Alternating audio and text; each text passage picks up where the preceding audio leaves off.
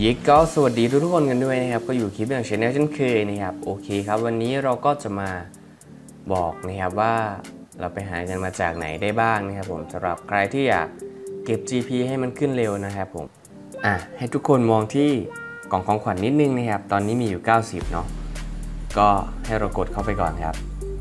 มาดูครับว่าเราได้เงินมาจากไหนบ้างนะครับผมอะตรงนี้ 25,000นะครับผมเดินลงมาอีกสักนิดนึงก็จะมีอีก อ่า15,000ครับ15,000แล้วก็10,000แล้วก็จบด้วย5,000นะครับผมอะเงินตรงส่วนนี้เราหามาจากโหมดซิมนะครับผมกดรวมๆไปจบอีเวนต์ได้เท่าไหร่มาดูครับปึ๊บอ่ารวมแล้วนะครับก็อยู่ที่ 55,000นะครับผมสำหรับใครที่เล่นจบอีเวนต์แล้วนะครับผมถ้ารวม 2 อีเวนต์ก็จะเป็น 1 1 0 0 0 0 นั่นเองเนะครับผมก็ให้เราไปเล่นเอานี่ครับการจัดทีมก็ไม่ยากนะครับผมปึ๊บอ่าตอนนี้มีเงินอยู่ 89,000นะครับผมก็หลังจากที่เรามีเงินอยู่เท่าไหร่30,000 กว่านะครับผม34,000นะครับผมประมาณนั้น ถามว่าใช้เวลานานไหมในการเล่นก็ไม่นานนะครับผมประมาณครึ่งวันก็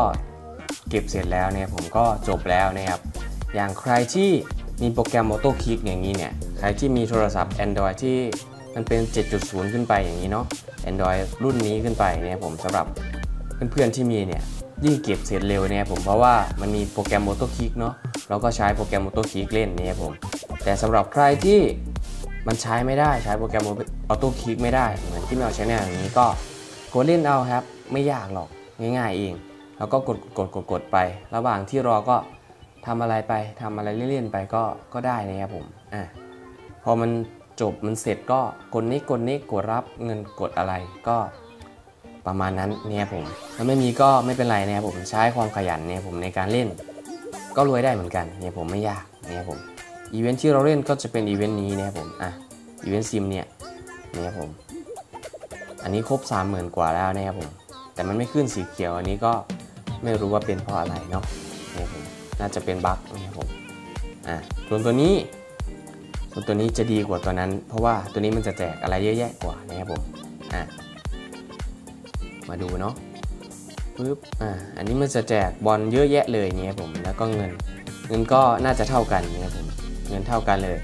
เก็บหมด2อีเวนต์ก็อาทิตย์ละแสนเลยนะครับผมแสนหนึ่งหมื่นเนี่ยผมอาทิตย์ละแสนหนึ่งหมื่นเนี่ยผมก็เก็บครบเนี่ยก็ถือว่าโอเคอยู่เนี่ยผมได้แท็กไปเปิดด้วยเนี่ยผมก็ถือว่าโอเคเลย นะครับ การจัดทีมจัดยังไง การจัดทีมไม่ยากหรอก มันใช้เป็นนักเตะที่เป็น featured player เนี่ยผมก็ได้ 400 เกือบหมดทุกตัวเลยเนี่ยผมดูสินะครับปึ๊บอ่าถ้าเป็นแบบนี้ก็จะอยู่ที่ 49.9 นะผมค่าของอ่า sport volume นี่ครับผม ก็ให้เรากดที่ auto pick เนี่ยผมสำหรับใครที่ยังไม่รู้เนาะก็กด continue ไปเนี่ยผมอ่าอันนี้โอเคแล้วนะครับผม ก็มันจะช่วยให้เราเล่นอีเวนต์นี้อย่าง จบได้เร็วขึ้นนะครับ ผมได้แต้ม GP ที่สูงขึ้นนะครับ ถ้าเราจัดทีมที่มันเต็ม volume มันเนาะเนี่ยผมเต็มค่านี้นะครับผมปึ๊บอันนี้ก็คงรู้กันอยู่เนาะเล่นแมตช์หนึ่งก็จะตกอยู่ที่ประมาณนี้ครับพันกว่าเนี่ยผมพันกว่า GP เนี่ยผมก็มาดูว่าการเล่นเราเล่นก็ก็ปล่อยให้มันเล่นตามปกตินะครับผมก็ประมาณนี้นะครับ ก็ให้ทุกคนไปลองดูนะครับผมสำหรับการเล่นอีเวนต์ซิมและก็อีเวนต์ทัวร์ธรรมดา ก็คือตัวนี้เนาะยูโรเปียนปรับทัวร์นะครับผมก็ไปเล่นเอาวันหนึ่งสองวันก็ถือว่าเก็บหมดแล้วนะครับผมก็ได้เงินมาแล้ว ตั้ง1นึ่งแสนหนึ่งหมื่นเนี่ยผมก็ง่ายๆนะครับผมแค่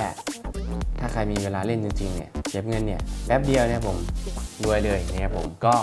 ไม่ต้องไปเปิดแพ็คเก็บไว้ก่อนก็ได้นะครับผมสำหรับใครที่อยากเก็บ GP นั่นเองเนี่ยผมโอเค เดี๋ยวเราเจอกันใหม่ครับในคลิปหน้าสำหรับคลิปนี้ก็ขอลากันเพียงเท่านี้ครับ สวัสดีครับ